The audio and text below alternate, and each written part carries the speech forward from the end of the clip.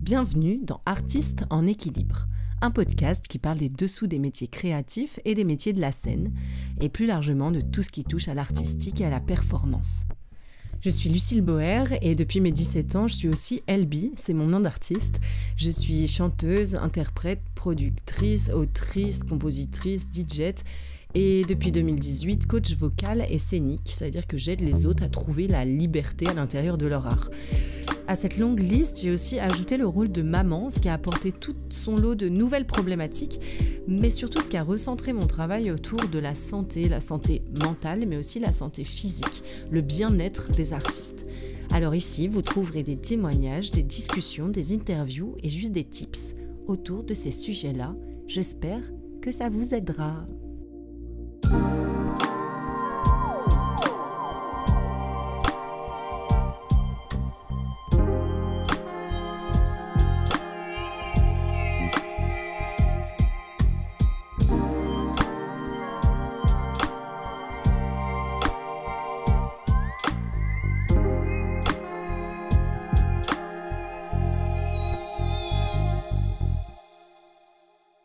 Salut à toutes et à tous. Merci beaucoup d'écouter ce podcast que j'ai envie de faire depuis un certain nombre de mois, je pense, voire d'années, euh, mais euh, que mon perfectionnisme empêche de, mettre à jour et de, donner naissance à, cette, euh, série de, différents podcasts et différents épisodes que j'ai envie de faire. et différentes idées aussi que j'ai envie de partager avec vous. Euh, et surtout, c'est, je vous avoue, aussi une démarche très personnelle parce que je pense que ça, m'a, ça va m'aider aussi à avancer personnellement et d'aller à la rencontre euh, de problématiques similaires. Voilà, donc j'espère que ça peut, ça, ça pourra euh, aider un petit paquet de monde ou en tout cas, ça pourra au moins vous faire réfléchir sur certains sujets. Je voulais commencer du coup cette série par, euh, non pas par une interview de quelqu'un d'autre, mais juste par une réflexion autour de l'art et du soin.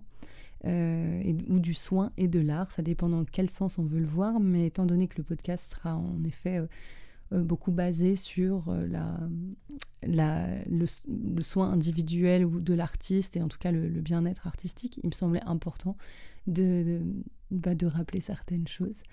Et et donc voilà, je voulais, je voulais d'abord dire que l'art soigne l'artiste et, et que c'est celui-ci qui nous permet d'expulser, de concrétiser, de transformer nos blessures ou de passer à l'acte et devenir acteur ou actrice de sa vie, de ne pas rester dans la passivité. Alors l'acte de création nous transforme en transformant la matière autour de nous. Cet accès privilégié à notre inconscient nous rapproche de nous-mêmes, nous recentre et nous permet de passer à autre chose et d'avancer comme ce podcast pour moi, je vous l'avoue. L'art soigne aussi celles qui le reçoivent et c'est là mon intention avec euh, ce qui est en train de se passer, même si voilà, c'est une forme artistique un peu spéciale. Mais euh, c'est un partage qui va percuter, qui questionne, qui chamboule, indiffère, énerve ou apaise. Comme une transfusion d'émotions de l'artiste au spectateur, l'art transforme à son tour la personne qui ouvre ses sens pour s'en imprégner.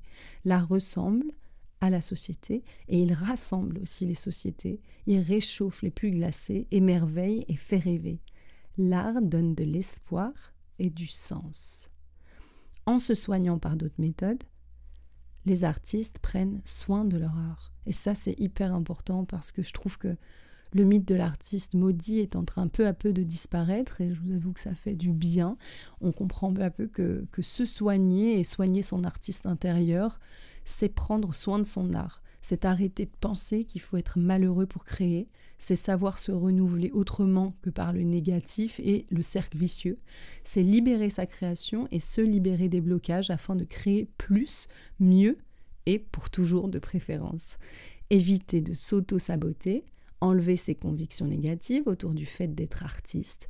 Alors par exemple, on a les exemples de l'artiste doit être fauché, l'artiste doit être solitaire, instable, plein de connotations assez négatives autour du mot artiste.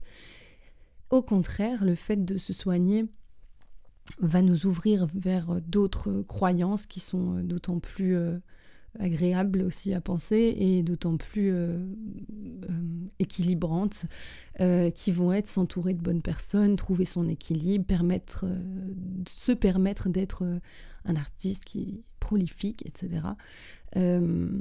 voilà, en, en tout cas, on peut activer d'autres canaux afin de créer plutôt que d'être coincé dans, ce, dans cet état de euh, je crée parce que je ne suis pas bien.